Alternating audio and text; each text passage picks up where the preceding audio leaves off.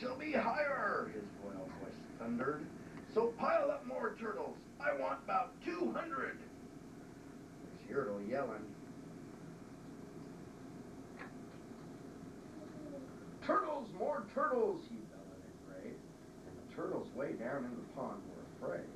They trembled, they shook, but they came, they obeyed. From all over the pond they came swimming by dozens, whole families of turtles uncles and cousins, and all of them stepped on the head of poor Mack. One after another they climbed up the stack. Then Yertle the turtle was perched up so high he could see forty miles throne in the sky. Hooray! shouted Yertle. I'm king of the trees, I'm king of the birds, and I'm king of the bees.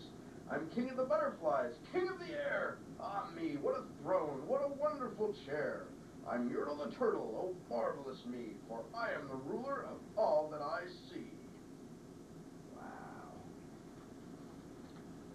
Then again, from below, in the great heavy stack, came a groan from that plain little turtle named Mack.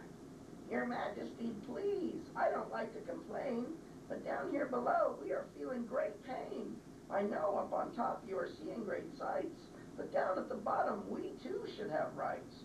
We turtles can't stand it.